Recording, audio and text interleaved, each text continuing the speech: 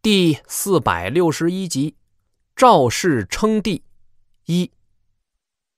虚空虽然能够传物传人，但是传送能量仍然是一个未知领域。不过，经由林曼作为核心的话，是可以将一些能量，比如一颗炸弹爆炸的全部化学能，传送到指定区域的。这是个很有意思的现象，应该和碧落引擎的驱动性有关。Zero 介绍。哎，这个有点意思啊！林冲是不禁有了个有趣的想法。一边说，Zero 一边瞧见了异界墙外一个浑身上下肌肉扎实、长相英武，却只穿着个闪闪亮围裙的高大人影出现在了小谷之外，又一步步走了进来。到异界墙前十步远，就是当年他总跪着的那个位置。扑通一声跪下去，再不作声。嘿嘿，这不玄鹏吗？长个了。Zero 不禁乐了。这得有三米多了吧？他来干嘛？罚跪呢？林冲说。玄鹏跪了两个月后，林冲得着一消息：长安赵家老二赵玉与大唐幼帝行了禅让之礼。赵玉在长安正式称帝，国号为宋，年号端瑞。这消息一出，登时是天下震动。赵二这之前不过是个都护，在大唐百道之众的疆域内，绝对是称不上最强的。只不过由于其势力范围仅为长安，又与青史社稷二仙宗相交甚密，所以被二宗定为了下任帝王之选。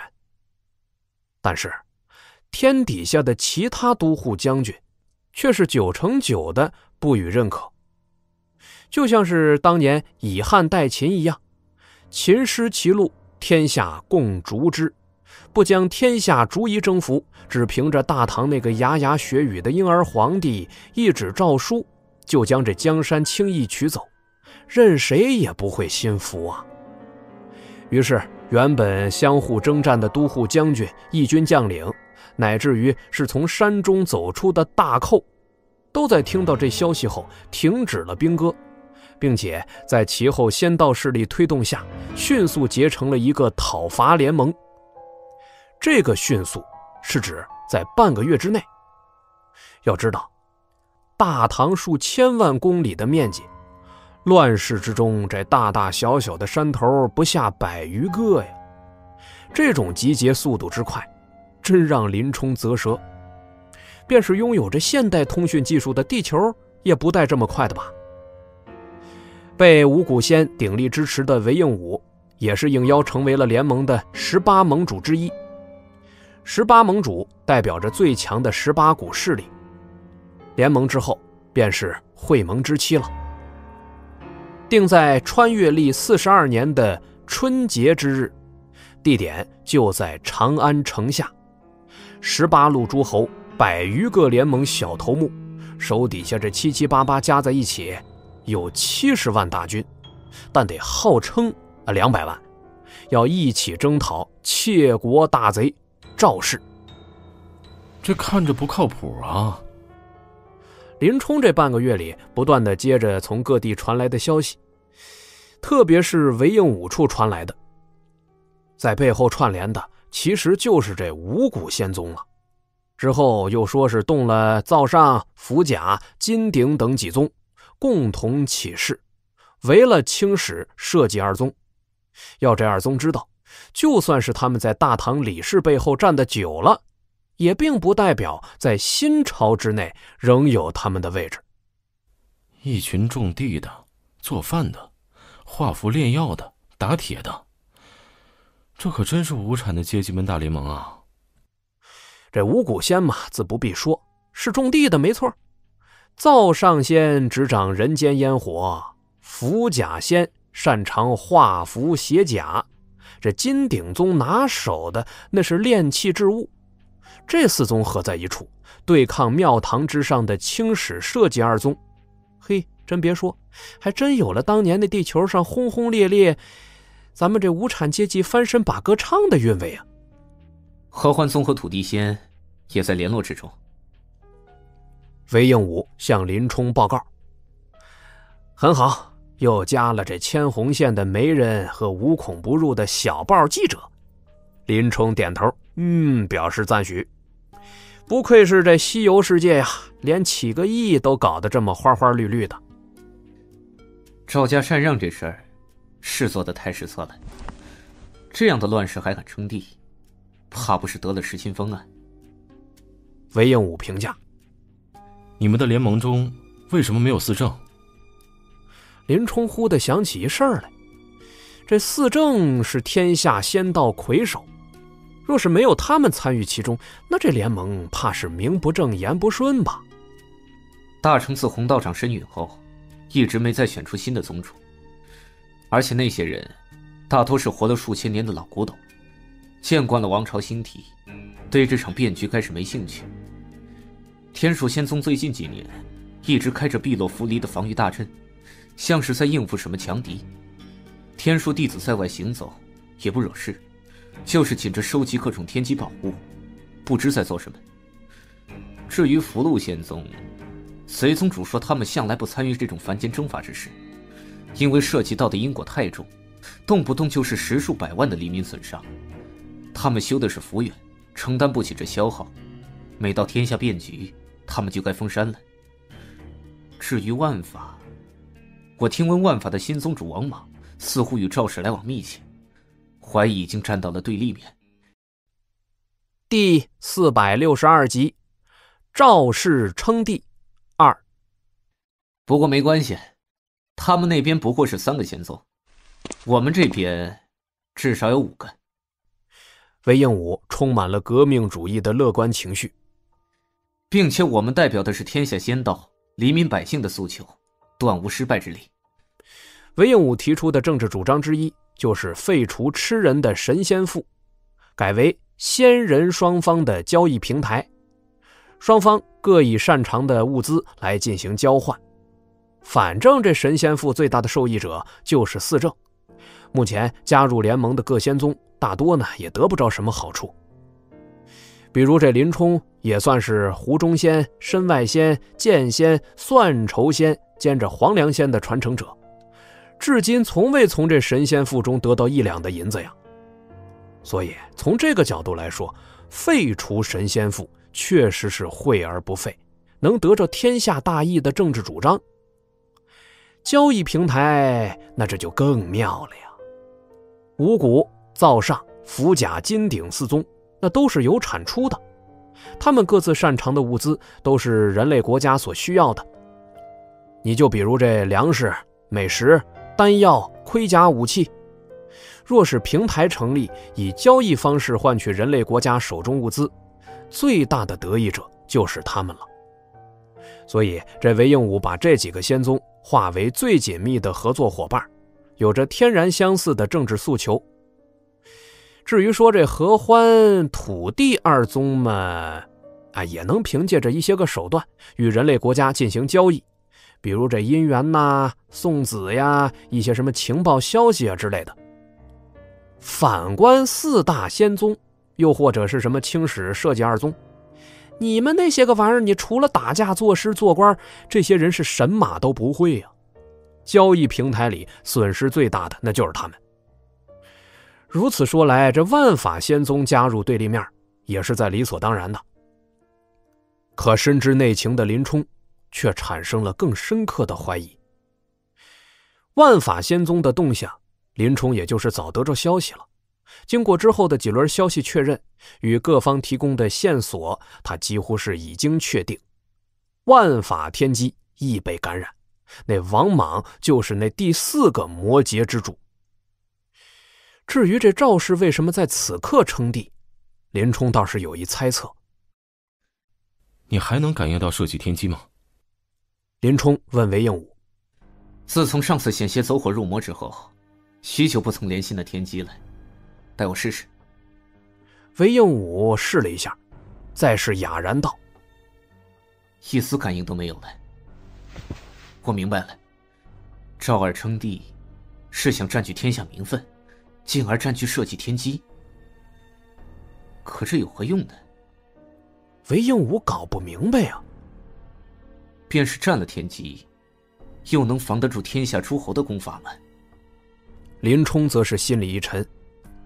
这是功德天机之外第二个被完全占据的天机了，而功德天机生出了一个欢喜和尚，却是个散仙。莫不是这设计天机被完全占据后，亦是会复生出一个散仙境界的魔主赵大来？天魔的目标就是这个吗？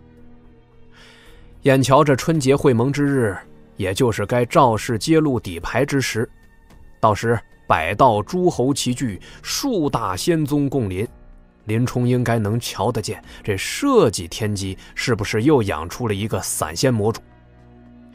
在法眼天路的监视中，长安城正在进行三推三让的仪式。李氏小皇帝将三次禅让皇位，赵二将屡次拒绝，最终才推辞不过，坐上这皇帝位置。看着着实是无聊啊，但这国之大事嘛，在容在祀。三推三让之礼，与其说是做给天下看的，不如说是改变天下归属的一个仪式。让关乎天下气运的社稷天机认可赵二，而在禅让仪式之后，天下那些真龙气也就尽归于赵二之身了。韦应武等各路大军领袖顿时成了个假龙了，身上的龙气没被剥夺，但这性质是发生了变化。那些仗着龙气成就一方霸主的无根基之辈，立时就察觉到了这事儿不妙啊。形势再也没有以往那么得到气运相助了，说不定这领地内就会爆发出一场瘟疫，又或是天灾地震，也不是没可能。等着今年底赵二再定了国号，那这情形就将进一步恶化。所以众侯之盟也是不得已而为之，不能再坐以待毙了，就只求奋力谋生。林冲是一边瞧着天下变化。一边研究着这万法群山和许君虎的状态。王莽成为了万法领袖后，许君虎处所获得的竭力日渐稀少。如果说这之前醒不过来，那么待得万法天机被占后，醒来的机会就会更少。出个差。林冲对林不周说：“你是老大，你说什么就是什么。”林不周是有气无力地说：“被斩到小蘑菇人身上，做了两个月军训之后，他明白了，形势比人强啊！黑心老板太无敌，多听话，苦头吃的少些。”林冲先是驱动着林不周的梦仙之躯，在异界墙外凝态化形，就见着一具二维化的人形，像是被线条在空气中勾勒出来似的。继而又有血肉骨骼浮现在昆仑山万载不化的冰雪世界中，一个刹那，梦仙之体就凝聚完毕。林冲握了下拳头，还是有血有肉的真实存在感。第四百六十三集，青鸾神通。等下你会昏睡一会儿，但是别怕。林冲拍拍仍跪在异界墙前的玄鹏的肩膀，打算这次用玄鹏的破碎神通去万法山探个究竟。玄鹏嘛，自然是没什么反对意见。待得林冲以他界寻念法斩来了玄鹏的破碎金刚神通，就觉着一股爆炸性的力量在体内是狂呼疾走，稍一动作，空间是极为碎裂。须得好好收敛威能，才能如常行走。而玄鹏出世时那重重叠叠的黑色影子，却是破碎金刚神通的一种表象。林冲墨运神通，猛一纵身，就见着整个雪谷之内到处都是林冲的身影，一化二，二化四，四化八，最多时竟然达到了六十四个呀！等这六十四个化身再归于林冲之身，林冲赫然觉着自己这身体沉重至极，又轻灵至极，沉重到仿佛这举手投足就能撕碎空间，清灵道能够看透无穷世界之后的真实。那是无穷无尽的细节展现。空气中有微尘，微尘中藏着一个个的世界。再往深处看，只见满眼雪白，雪白后还有着无数玄机，宛如无数光链横陈其中，接天连地，贯穿过去未来。看到这儿，林冲只觉着是一阵头晕目眩。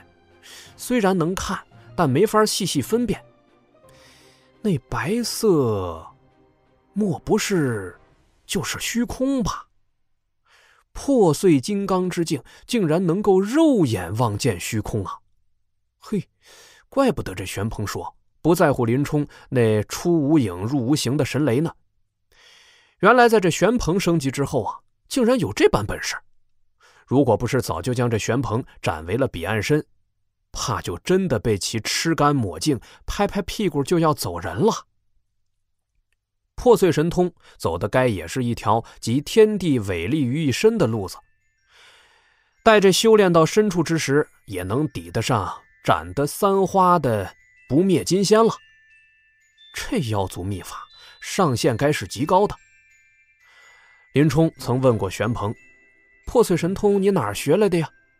玄鹏说是娘胎里带的，深刻在每个妖族记忆里。但这修炼起来却是如此的艰难，以至于千万年无所寸进，所以很多的大圣都走了封号的路子。毕竟，封号嘛，只需要天庭的一纸诏书就行。或者啊，就是为了不让这妖族修炼这种秘法，天庭才会以封号之事相诱惑。毕竟，自己造不如这花钱买，买办在任何一个世界都存在。并且是大多数。林冲正试验着玄鹏的新本事，这本事能不能打散仙还得试验。林冲是觉着虽然厉害，但是大概也只适合玄鹏，因为玄鹏的战斗天赋强悍。林冲虽然将这神通斩了过来，但天赋这事儿，或者说是本能意识反应这种细微处，却是无可奈何的。哟嘿呀！这时刚吃饱了蘑菇，在一些墙外呼呼大睡的青鸾忽的是醒了过来。他元气饱满的伸了个懒腰之后，就瞧见了林冲。这具集梦仙与破碎神通于一体的肉身，登时是眼睛一亮。啊，你还有喂！他叫了声，翻译过来就是。我也要玩，跟我玩，我看你很好玩的意思。林冲由于想教这青鸾说人话，所以这几年呢一直是抽空和他交流。最后是青鸾的这人话啊没学会几句，林冲呢倒是学会了不少蘑菇语。蘑菇语是情绪语言，只要这电波对上了，学的贼快。林冲不是通过他借学念法去领会其中的意思。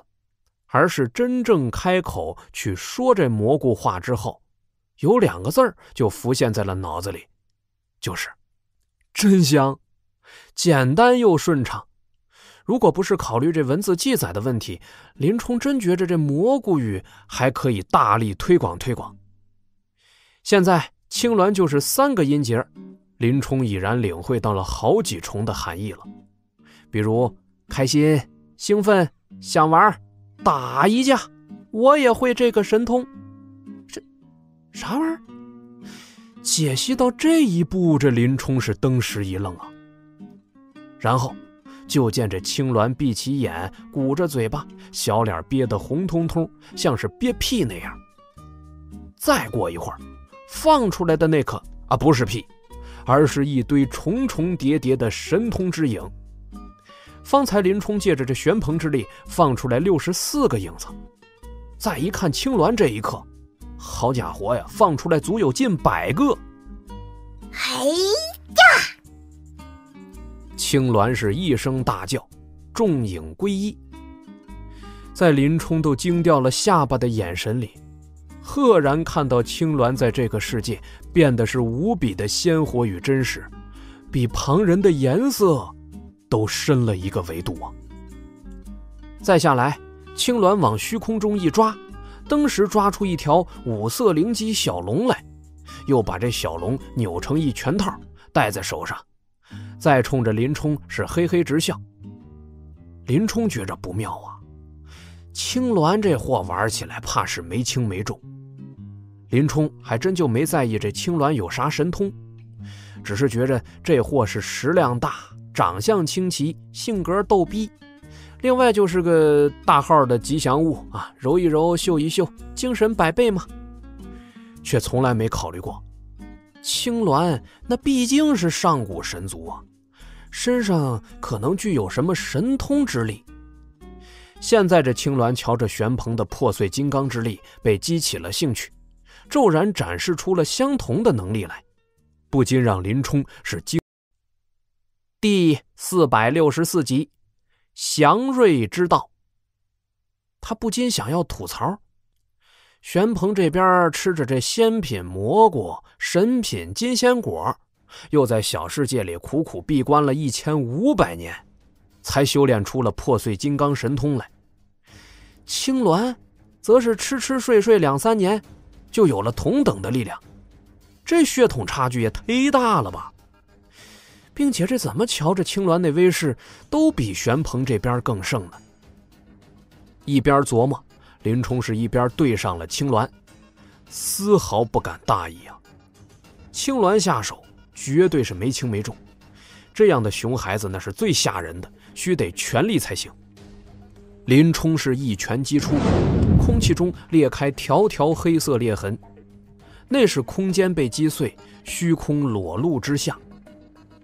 青鸾同样是一拳击出，这空气中繁花似锦，瑞光千条啊！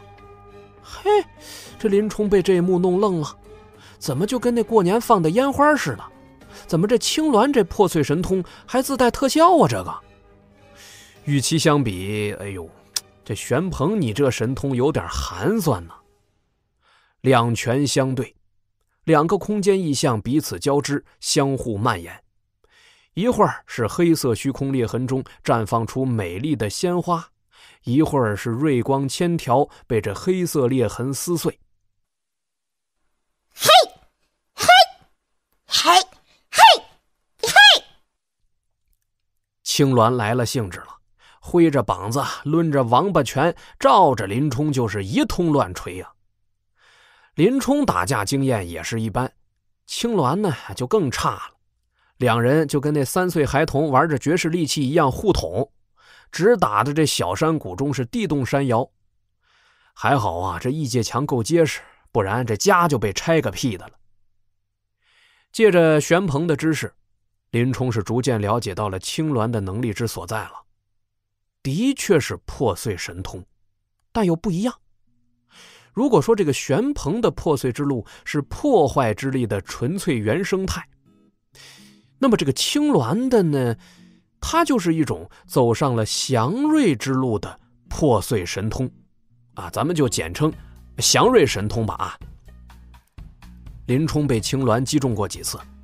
身体的那部分呢，立即就生出了五色鲜花与七彩瑞光来，并且有着祥和之意，如同是病毒一般的蔓延，涌进了意识中。只要放弃抵抗，享受这片祥和呀！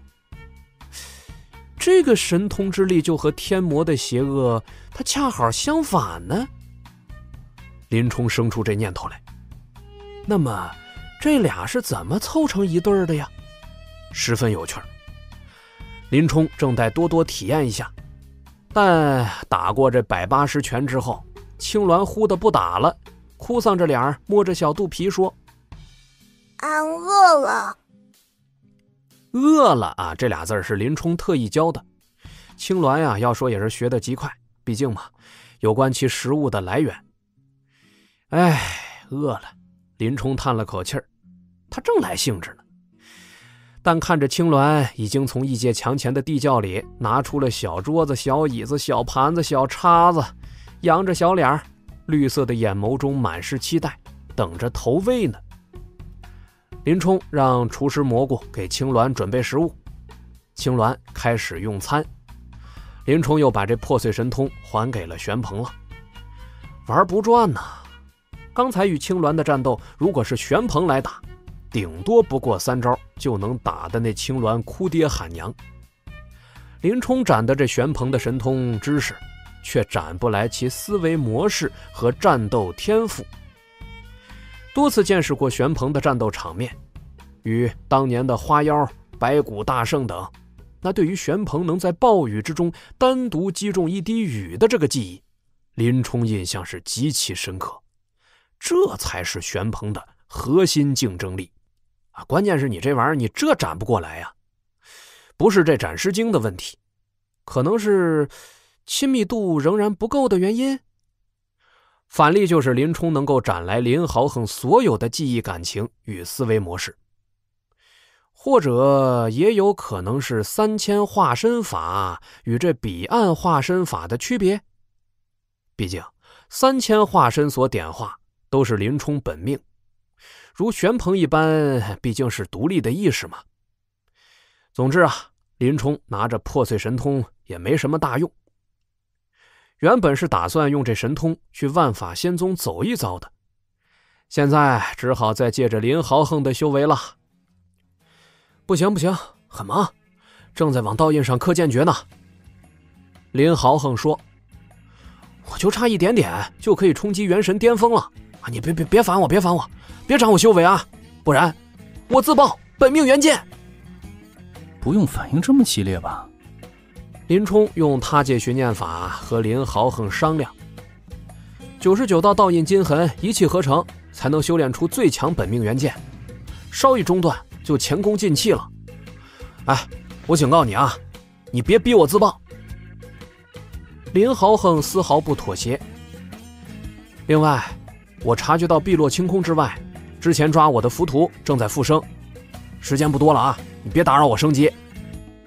哎，你察觉到什么了？林冲忙问。浮屠之前窥探我绝世剑仙传承，被剑仙天机标注了。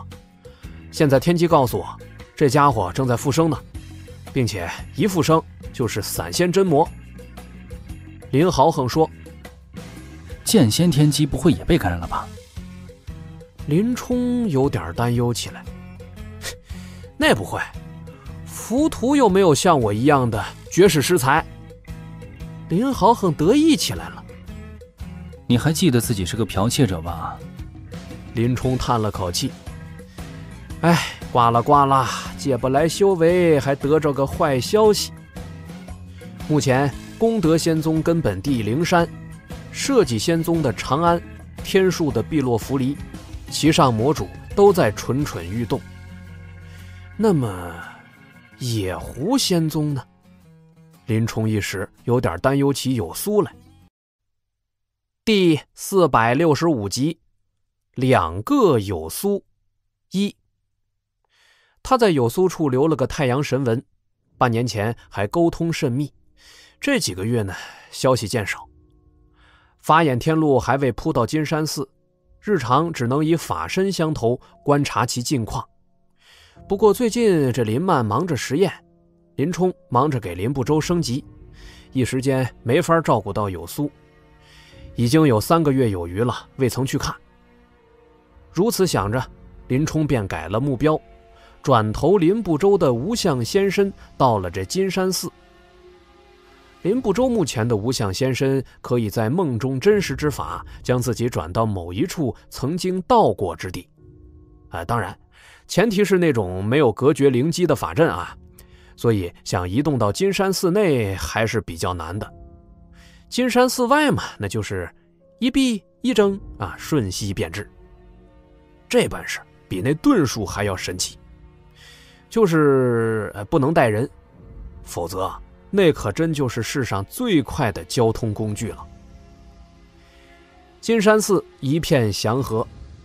林冲在寺外瞧着夕阳目光里铺陈连绵的金山寺建筑群，觉得是一如往常的。林冲敲响了金山寺朱红色的大门，随即，林冲往自己一点。最近这段时间呢，不周山帮助林不周凝聚了不少大梦之种。由于有了无相仙法之后，大梦之种已然是不限于仙道世界观了，所以林冲这次从这个梦种中取出的是神奇四侠中隐身女的本事，他立刻是引入了空气中，化作了无形。大门是嘎吱一声打开了，一女孩是左右瞧瞧，哎，这也没人呢。林冲却趁机潜入了寺里。金山寺内部是一如往常，到处都是莺莺燕燕。由于天下妖修是一家，大家都在金山寺修的呢，又全部都是野狐精，所以这金山寺所在就跟当日截教之气象一般，不计出身，不在乎过往，你只要是妖族都可以得到传授。林冲是一直觉着这儿的气氛就特别好，当然不是因为这到处都是漂亮女子的缘故。一路来到八重殿。林冲本想拜会一下有苏，却没想到这八重殿之外落了一大锁，那锁厚厚重重，往其中一探，有黑色锁链样灵机从其处向四方延伸，将整个大殿包住。这……这林冲站在八重殿门口研究那锁，换了几种本事，却都是弄不开呀。瞧这样子。非得是借来林豪横的修为，以绝世剑仙之剑才能将之劈开。但林冲这又不是来闯山的。林冲扣了一下大殿的窗棂，小声说：“有苏，有苏，我来看你了。”殿内没得反应。林冲是渐渐加大了音量，这殿内还是全无声息啊。反倒是背后有声音传了过来，来了这野狐宗的弟子。何人在此？只听背后是一声轻诧，叮叮叮的一阵寒光飞驰，数枚法宝带着破空之声往林冲就袭了过来。林冲反手从大梦之种中将这美国队长的盾牌掏出来了，立在了自己的身后。只听是咚咚咚的一阵击打声。震惊所制的盾牌，在漫威世界中据说是坚不可摧的。呃，当然，其实哪个 BOSS 都能把它轰成渣渣，比如灭霸。而今在这个西游世界呀，这盾牌只可说是足够坚硬，却也是挡得住这几般法宝。咦，来人是个中年美妇，却也是林冲见过的老熟人了，那位大娘。野狐仙宗内没什么明确的上下等级之分，宗主之下，长老之外，那就是分管各项事务的总管。总管们人数众多，年纪较大，弟子便冠之以大娘、二娘、三娘啊等等之名。这位大娘手中一面宝镜，能照万物本源，且有碎魂裂魄的本事。此刻，他手中的宝镜高悬，对着林冲大声喝道：“哪来的登徒子，敢闯金山寺我家宗主闭关之地？”林冲此刻所用的形象呢，是林不周一直以来在梦中向他人展示的那个仙气飘飘的、能出去卖的那个仙人模样，有三分仙气儿，兼着七分浪荡。总之啊，瞧着就不似什么忠善之辈。有苏闭关了，林冲觉着不对劲儿。闭关多久了？若是闭关，怎么要给大殿上锁？他莫不是出了什么事吧？闭关已有两月。大娘被林冲话中的诚恳和担忧打动了，回了一句，这才觉着不该解释啊，不禁有些生气了，一展手中宝镜。登时是万千兵灵化形而出，直往这林冲就击了过来。林冲把身子一缩，躲在了震金盾牌后头。虽然用的是无相仙法，但没有这有相之身，所以这林不周呢，平时看起来是神出鬼没、变化万千，但他的这个实力上限超不过个普通人。还好仍有大梦之种作为辅助。各种这梦中世界里普通人啊，单指是没有进行修炼的那个普通人，比如钢铁侠这种肯定是算的。蜘蛛侠也勉强吧，啊，绿巨人那就不行了。嗖的一下，大娘就瞧着那古怪的圆形盾牌之后，忽的打出来一网白色玩意儿，其速度极快，还没来得及反应呢，就被捂在了脸上，登时是呼吸被制，视线被夺，而且这玩意儿吧，极其的粘稠。大娘是震惊至极的，来回用这个手连抓了几把。也没将其给撕下来，反而啊，扯的是面皮生疼，像是要活生生撕下一层皮。第四百六十六集，两个有苏。这是什么？大娘尖叫，但声音也被那玩意儿挡住了，看不清，说不出，但手中的法宝还能施展。这大娘也是到了元婴境界。虽然灵机尚未勾连天地生出神识来，却也察觉得到周遭的变化，察觉有人进到身前，他猛地一击手中宝镜，就要再次施展威能。又是三股蛛丝射出，捆住了大娘的双手双脚。扑通一声，她跪倒在了地上，被捆成了人肉粽。我只是想跟你说两句话，你先别闹。林冲温言道。有苏闭关前，你是否察觉到他有所异常？是否比平时更加困倦？是否有人跟他一起入关？与其他魔劫之地相比，这金山寺显得是格外的平静。有苏之前就说过，他是将魔主诱于己身，不危害旁人。他就是天机，所以这魔劫轮回之地也就限于其一身。当然。亦有可能如花莹一般再诞生个魔主，但总归不会危害到宗内的其他的人，所以林冲要知道有苏究竟如何了。想从我口中得知宗主之事，纯粹妄想。大娘是呜呜声说着含糊的话，听不太清，依稀能够理解其中的意思，态度也很坚决。林冲却一边听一边点头。嗯我知道了。你知道什么？大娘此刻猛地运转体内的野狐禅，双手双脚迸发出千斤之力。这蜘蛛侠的丝再结实，也不符合此界的天地法则，纯粹是仗着无相仙法充个数，登时就被一震而开了。而这时，林冲已是飘然远去。有素闭关时。你好像瞧见有一人跟他一起入关，但这人的形象与有素一般无二，所以你怀疑是自己看花了眼。你怎知我心中所想？邪邪法亏心。大娘猛的是澄澈心思，将一众杂念通通斩除，只留下了一点本我。林冲刚才从大梦之种里借了 X 教授的心灵异能，顿时就没用了。只能窥探到一片空白。就算是四级的变种人，到达这西游世界呀，怕是也打不过一个元婴修者。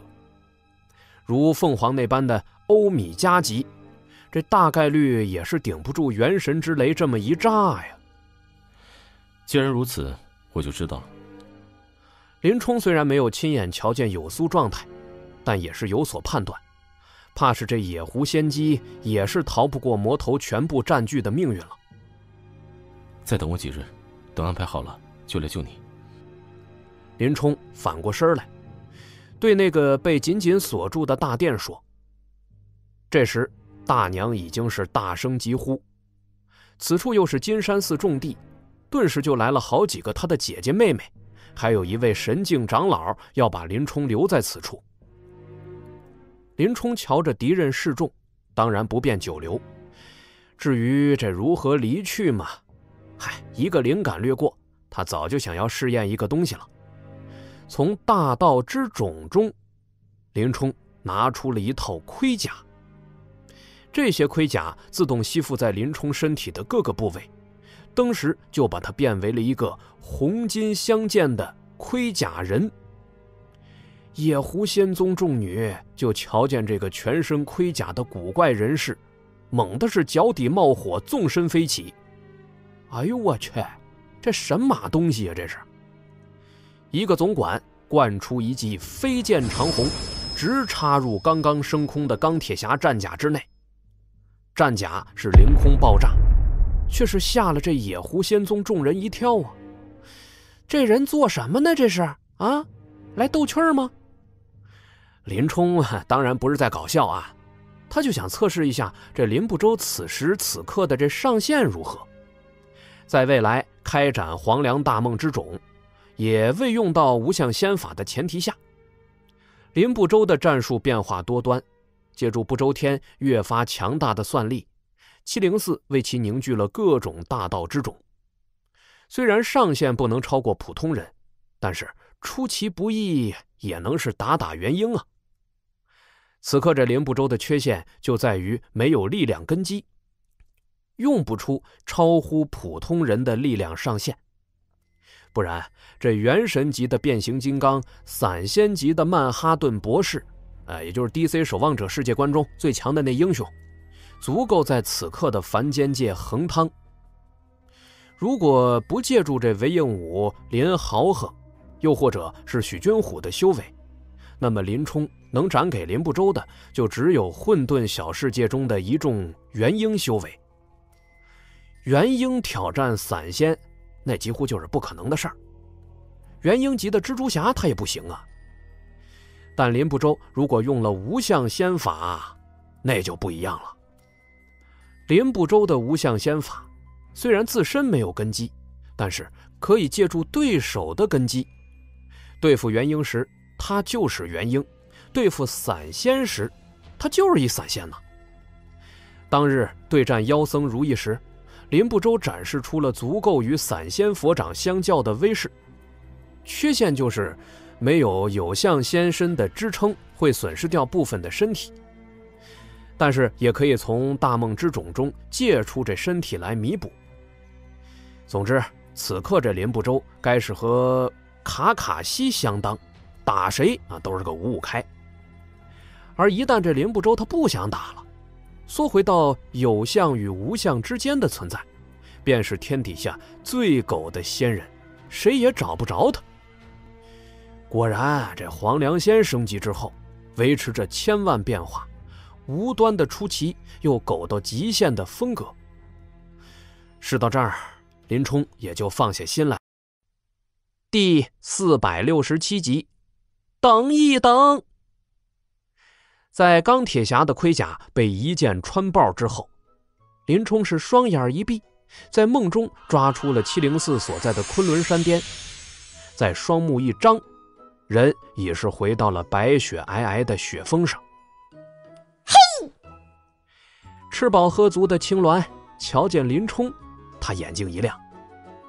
对他来说呀，方才的打斗纯属活络筋骨一般的嬉戏。就跟那出生的小老虎相互扑戏似的，很是上瘾。正要再次扑过来跟林冲玩耍一番，却忽的是站住了脚步。你呀，青鸾左右瞧着林冲，怎么和刚才的感觉不一样了呀？原本青鸾瞧着林冲是同类，现在却觉着模样相同，感觉是全然不一样了。林冲倒是知道咋回事了。刚才挂的是玄鹏的破碎神通，现在挂的是林不周的无相仙法，自然是迥然不同。乖，别闹。林冲顺手撸了一把青鸾的红毛，嘿，真别说，这手感真不错。一把下去啊，哎呀，感觉这身心都畅快了。不愧精修祥瑞之道的神兽啊！嘎！青鸾情绪低沉的叫了声：“说人话呀！”没人陪俺玩，俺不开心。习惯就好了。嘎！青鸾震惊的望着林冲，这算是个啥答案呢？忒敷衍了吧这个。不过说到陪青鸾玩嘛，玄鹏显然是可以的。青鸾所以为的同族。其实是玄鹏，现在玄鹏啊还跟那儿跪着呢，异界墙外十米处，浑身上下神通收敛，宛如一个巨大的人形沙雕啊，不是雪雕。这三个月里，玄鹏就这么一直跪着，跪的刚出小世界那煊赫滔天的破碎威能全部都消弭一空，回归了自身了。现在连风雪加身都不会被其所融化，跟跪成了个木乃伊似的。一开始是被林冲以他界寻念法和斩尸经所控制，后来啊，那就全凭着玄鹏的自觉。感觉如何？林冲问他。多谢上仙提点，小妖之前猛浪了，此刻思之悔之，百死莫及。玄鹏是微微一动，面上覆盖着的雪壳掉落，现出一张诚恳的脸来。以玄鹏现在这个体质，你别说是跪上几个月了，就算是拿着油锅你给他炸一圈，也不会生出什么伤害来。当年那孙悟空被压了五百年，吃铁丸喝铜汁儿，还不是活蹦乱跳吗？不过，嗯，根据玄鹏讲啊，那时候的孙悟空，该是已有破碎天门的修为了，比此刻的玄鹏啊。还要高上俩境界。林冲本想着再关玄鹏，呃，大概三千年加上六千年啊，也就是一万年的时间吧，能不能让这玄鹏再升上两级呢？也不过就是此界一年的光景嘛。混沌小世界那就是万年过去了，怕是不行。那个小世界其牢固程度容不下小妖的神通再进一步了。玄鹏的神通修炼虽然是不求外物，但至少需要一个坚固的环境。这个混沌小世界呀，显然是不能满足他的需求。另外，就算满足，这林冲呢也要慎重的考虑一下。玄鹏再升一级，大概就是这九阶真仙的水准了。那再升两级，可能就等同于，呃，天仙。到时这他界寻念法和斩尸经能否治得住他，还是两说呢。以林冲的性格，没把握之前，断然是不会贸然行事的。现在这瞧着玄鹏态度良好，林冲一笑也不管他。还是那句话，林冲实力强过玄鹏，一切都好说。若是这玄鹏得志，天下无敌，大概。不会生出任何的感恩之心来，反倒是会生出怨怼之情。林冲早在他的念头中读出其性格来了。林冲回到异界墙后，再把梦仙之躯还给了林不周。升级为散仙后，林不周终于是脱壳化形，拥有了在异界墙外生存的能力了。用完了，林不周拿回了身躯。隔着异界墙问林冲：“嗯，要收费吗？”林冲反问：“滚！”林不周怒喝，刹那间呐，就要施展无相仙术，遁入无形。不行！林冲制止了林不周，就跟那汽车踩了脚刹车似的。干啥？林不周才刚刚进入无形法相，就被拽了出来，郁闷的呀，想要吐血。你不能去金山寺。林冲自然知道这林不周想去的地方。为什么？方才你也瞧见了，有苏身中魔劫，分明是有魔头要在他身上寄生，在分体化出，到时有苏就完了。林不周大叫：“你就算是去除了他身上的魔头，又有如何？魔头寄生天机，早晚会在他身上复生。我们要等。”林冲耐心的解释。等等等等等，你就知道等。林不周火了，要等到什么时候？要等到黄世天。说到这儿，林不周忽然哑火了。是林冲以斩尸经控制住了他的嘴。异界墙内，林冲是面如寒冰。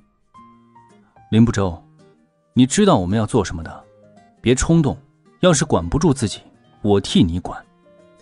林不周眼中的怒气逐渐是消失了下去，他无可奈何的点了点头。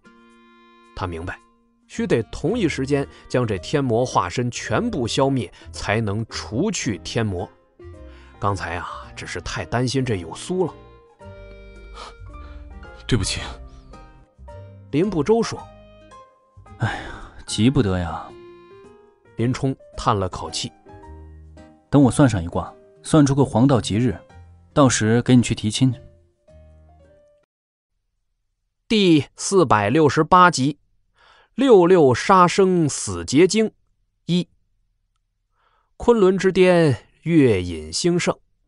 林冲雪谷之内摆开了周天星斗大阵，二十四、三十六、四十八、七十二、八十一，五孤大卦依次展开。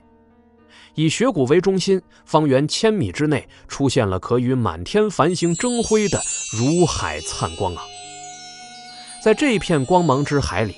无穷世事穿梭沉浮，林冲就瞧见了此刻这东胜神州之上的天机气象。众星皆暗淡，唯有长安一处宛如是赤日凌空。长安之中另有两颗大星是最为璀璨夺目。林冲瞧着其中一颗为社稷之仙，因为这一眼望过去，瞧得到山川河流，俗世万千。另外一颗，则演示着万般法，或刀，或剑，或心经，或公诀，分明是万法仙宗之相。这两个大星之外呢，还有两颗小星，呈现出一幅丹青、一卷书册之象，该是青史和丹青二宗了。这四宗天机占据长安一地。也是长安气象威压天下的原因。至于这疑似被摩羯所占据的社稷万法二星，在林冲的卦象里，唯一异常之处就是灿烂的不成样子呀。遥遥与状若狐狸的野狐天机，远在犀牛贺州的功德天机，漏斗形态的天数天机相对，五颗大星交相辉映。构成了天下气运之上的另外一重摩羯星辰之象。如果说这个天下气运是表，那么摩羯之变就在内里，非得是周天算经之法配合神仙算竹，才瞧得出其中的究竟。林冲为推算出摩羯之星象，已然是斩去了小世界内数百元婴的修为。以免再造成上次那般为窥探魔劫天机耗尽灵机，乃至于连累本尊死亡的悲剧。这次，林冲也没有算的那般深切。上次五颗摩羯大星还没这般闪亮，要算出其中究竟来，消耗极大不说，这林冲还很作死的，又往上算了一层，算的是天魔所在所谋。那已是超越了此界极限，达到凡间界之外了，反噬才会那般的可怕。而此刻，望着五颗摩羯大星，林冲算到了一个未来。三个月之后的春节会盟是天下转折的关键啊！林冲是喃喃低语，林冲隐约瞧得到这个可能性啊。三个月后。不只是决定天下归属，甚至还有此界兴亡。林冲不敢再细看了，此时的消耗已然是大到这斩尸经从小世界斩来的修为供应不上的地步。瞧到此处，已然是力竭了，再要瞧下去，小心小命不保。哎，这林冲叹了口气，收了神仙算竹，又还了梦仙之躯。回到一界墙里，瞧瞧时间，晚上二十三点，该睡觉了。他打了个哈欠。穿越四十年了，林冲的作息变得是越来越不规律，动不动就画出个法身，几天几夜的不睡觉。最夸张的时候啊，要维持两个月的混沌造物诀，供眼前的白眼狼玄鹏修炼。虽然本尊在睡觉。但这展出去的念头，却要整日里维持着精神头，搞得这林冲啊，险些子是精神分裂了。最近这状态一直不好，总是怀疑自己是在梦里，又或是现实。所以最近是抓紧时间补眠倒时差，并且呀，以后真的要戒了这熬夜的习惯。身体虽然不会变老，但这心理健康却会崩的呀。睡觉之前，林冲照例又到这分宝岩检查了一圈。Zero 目前长时间是驻扎不周天，也不是时时在这分宝岩里。除了继续研究导弹的制成之外，Zero 还向分宝岩布置了个任务，就是按照这关键字向吕祖背身图搜索许君虎死劫修炼法的真相。由于每次献祭都会损失一大批的金蘑菇，试错过程又是极其无聊。所以列了一堆的关键字之后，就交给分保研的工人们负责了。林冲每次过来检查，都会得到一大堆的奇奇怪怪的文字，比如什么魔劫的三十六种死法、天魔秘史啊等等这些个古怪玩意儿。林冲就万分奇怪呀，这些个作品的作者是谁呀？是某处魔劫轮回之事的土地们吗？是画中的吕洞宾吗？不过，今天在检查收获时，林冲是眼睛一亮，他瞧见了一篇功法，名字是《六六杀生死劫经》。拿起一看，就见开篇名义：“魔之生机在于死劫，六六之术，死劫之生。”快快快，帮我翻译翻译。林冲忙是联络着七零四。七零四对于西游世界的功法已然不像初见这万法天卷时那般的陌生了。由于地球与西游世界承袭的其实是一脉文化渊源，所以在集中佛道两教文史专家的智慧后，对万法天卷的解读已是深入。又得了北斗种书之后，两相对照，那就更为透彻。所以，林冲将这六六杀生死劫经传给了七零四后，第二天的早上就接到了粗译的版本。林冲是一边吃着早餐蘑菇，一边读着应是许君虎修炼的死劫之法。生死之间有大恐惧，死劫取的就是这点恐惧。恐惧中有生机，有死劫，修炼死劫之法，其实。就是修炼恐惧之法。第四百六十九集《六六杀生死劫经》二。天魔是以俗世欲念为食，死劫之法算是天魔修炼法中极为高端的一种，乃是至高的七情根本法之一。徐君虎不愧是天纵奇才，这季无量当初被这魔劫感染，生了仙婴。徐君虎以血神经攫取了其中的一点真意，又凭着之后深化血雨时领悟到了生机之间的那点恐惧，就凭空编撰出了个死劫之法。死劫之法也是简单，许君虎身化万千，每获得一点劫力。一个念头就会回归自身，等到攒够了六百六十六点劫力，自然会超脱凡躯，成就真魔。如果不是王莽占了万法天机，隔绝了许君虎的修炼，许君虎该是早就醒过来了。六百六十六点劫力并不多，毕竟当时万法仙宗有数千弟子呢。可这现在……这劫力该如何去获得呢？或者说，该如何修炼这六六杀生死劫经呢？不知道我修出的劫力能不能转到许君虎身上？问题是我怎么修炼呢？林冲可是白身一个，而目前他能控制的化身们都有着各自的功法，要转修死结经也是不可能的。林冲是一边吃着蘑菇。一边随手斩来了 Zero 的智商做思考，马上一个灵感就浮现了，需要用到一个早就已经拥有的天机法宝而这件法宝当初却是许君虎送给林冲的。这一饮一啄，嘿，还真就有些个天注定的意味啊！林冲是珍而重之的，从这沙发底下的储物柜里取出了一只白铁盒子，又到这异界墙外将其打开喽，拿出一个模样古怪的人偶出来。那人偶正是万密斋。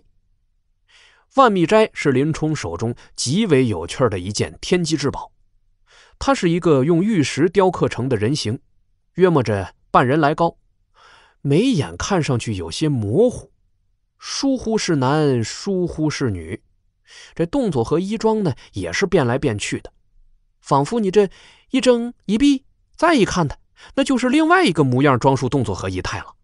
充满着奇异的不确定感，是男他而非动物他。据当年的许君虎说，这宝贝啊，乃是由人所化，是欲夺天机不成，被这太上老君降罪的一个罪仙，活生生的将其炼成了天机法宝。林冲当下在这西游世界只见过天机化人的，却从来没见过。人化天机的，由此可见这万密斋的特殊，而其用途就是可以练就各种功法，用于练功试错。在其运行公爵时，人偶之上会出现灵机的运转路径来，这路径是绝对正确，拥有者可以用之校对自身，十分好用，确是修炼圣品。不过，这唯一危险的就是不能与其长久对视。据说呀，如果这么干的话，就会被其夺舍，成为万密斋借之以复活的躯壳。林冲觉着这应该是个谣言。若是如此轻易便可复活过来，那当年老君降下的禁制，未免也太松垮了些。今儿个早上。林冲将这六六杀生死劫法放在万密斋的眼前，让其阅览。根据之前的经验，功法越是深奥，这万密斋阅读的时间就越久。一旦读完，记载功法的篇章就会被焚成灰烬，意味着万密斋已是习得此法。六六杀生死劫法是天魔根本法之一。万密斋呀，那是读了足足六个时辰。从旭日朝阳读到日暮西沉，林冲都等得有些个不耐烦了。戴上 VR 头盔，去这 VR 版全民偷菜里摘了一圈黄瓜、萝卜、西红柿。等到了晚上八点，再来看万米斋时，这才瞧见其面前的一堆纸灰，却是习得了。习得功法后，万米斋开始将其自动运转。林冲就瞧着这灰黑色的灵机之光从其口中吞下，又在其体内周转不休，在丹田处形成一个又一个充满着死意的灰黑色光球。待得这光球满了六六六个，万米斋忽的是睁开了眼，眼眸中出现了灰黑之光来，同时这口中轻诧几个字。通关生死，他佛涅盘，我魔重生。万密斋的这声音吧，男女莫辨，仿佛只随着听者的观感而变化。林冲此刻听来，只觉得是个高僧那般的，充满着晨钟暮鼓般的悠长意味，啊，也没被吓着。按照之前的使用经验。万密斋的确会说话，说的都是功法练习时的要诀。你还真能修炼出这死结法？林冲对着万密斋略带诧异的言道：“通关生死，说的是生出这死劫力的方法吧？他佛涅盘，我魔重生，是借助他人之躯壳进行我的涅盘重生之旅吗？”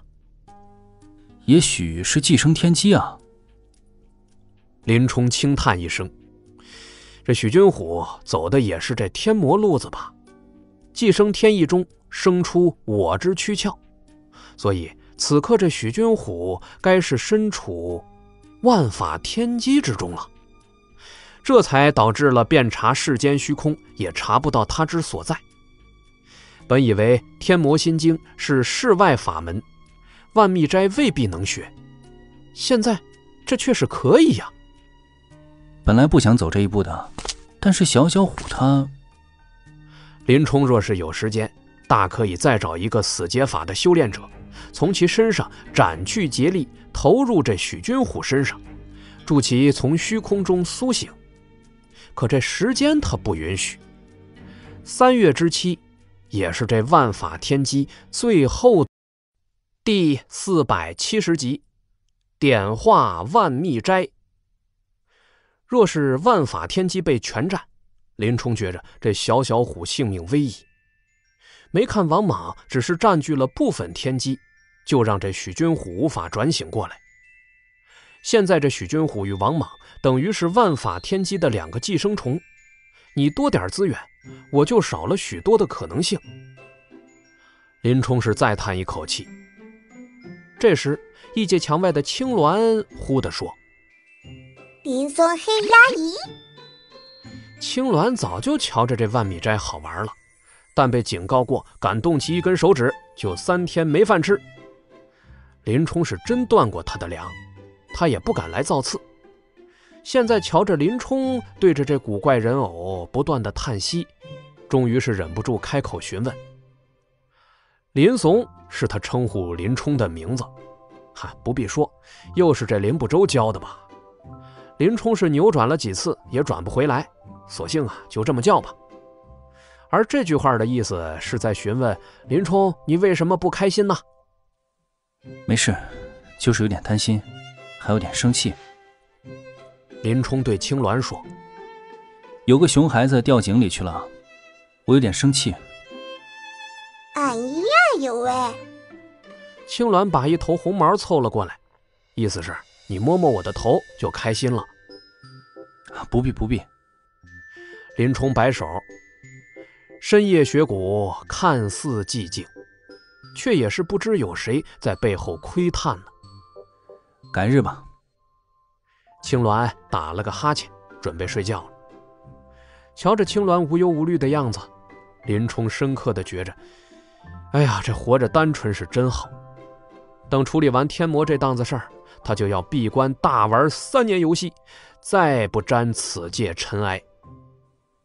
哎，小小虎，希望你保佑自己，能借着此法活过来。一边说着。林冲一边以三千念头化身法凝聚念头，开始将万密斋转为自己的化身。万密斋是个天然的化身材质，它是人，又被转为了法宝。首先合了三千化身只能点化物品的条件，又不必辛苦将这物件制成人身，将其转化为化身，就等于凭空多了一个修为绝高。能让太上老君亲自出手的仙级化身，但这情况真这么美好吗？确实未必。青云子执掌万法仙宗数十年，若是万密斋真的如此适合被点化，早就连根毛都不剩下了。先圣绝尘之后，五福若是点出一仙级化身来，那早就横扫了凡间界，还跟他林冲废什么话呀？玩什么黄粱仙的潜伏计划呀？所以，林冲知道点化万密斋之举绝对是危险的，也有可能根本就不会成功。我可是天外之人，永远不会死啊！五福会怕，我却未必。林冲是一边念叨着，一边把这念头不断的灌入万密斋里。三千化身法。是要化身分享自己的寿命，所以五福玩不转此法，林冲却可以拥有数万个化身，这也是林冲的倚仗了。另外也是着实没有办法，林冲实在是想不出什么招数能将这许君虎从涅槃状态中唤醒过来。混沌小世界不停地向其灌注修为，直如石子落大海，全然无回应。也须是必须得以竭力为食才行了。而这世上，除了这天魔外，谁还能修炼竭力呢？就算林冲得着了死劫修炼法，要再造一个死劫修炼者，又要多久？唉，等不了了。七日后，万密斋活了。他跟林冲说的第一句话是：“这是什么朝代？”论起对于三千念头化身法的修炼，以及输出念头将化身点化这动作，也许前后西游世界。十数百万年也没有任何一个身外仙比林冲更熟练了。他在区区的数十年间就制造了将近六万个化身，直接在身外天机中把五福压的是半点脾气都没有。如果有幸见面啊，五福大概会指着林冲的鼻子大骂：“你是那老母猪产崽子吧？啊，这么 BT 呀！”而转化万密斋的难度。对比林冲之前所有的化身制造，都是更为复杂。之前林冲所点化的，只是空白躯壳，拥有一点点意识，却并非本我。这形容起来呢，只是浮在意识大海中的一点浮沫，轻易就可将之吹散。与之相比，这万密斋简直就是一个深不见底的死海魔域啊！林冲在其意识中瞧见了无数匪夷所思的场景、经历和境遇，如此离奇，以至于林冲不晓得这究竟是万密斋的梦，还是其真实的经历了。比如，万密斋曾经杀掉了无数个自己；比如，万密斋曾穿越过无数个轮回；再比如，万密斋。曾经投身天地未曾开辟之间，抢夺属于太上老君的气运。再再再，比如这万米斋之所以能够修炼所有的功法，不是因为他学习极快，而是因为他本就会。他在无数岁月里通晓了世上的一切法。这七日里，林冲沉迷于万密斋的玄奇过往，险些忘了我是谁了。反被这万密斋污染了念头。还好，林冲为了防止这一状况的发生，将自己的念头用斩尸经斩了部分到这林豪横、林不周和 Zero 处，这就是典型的分布式验证方式。三处念头不断的验证林冲的本我是否有被占据、污染的迹象。一旦本尊出现了沉沦之下，任何一处念头。则会立刻唤醒林冲意识最深处的本我。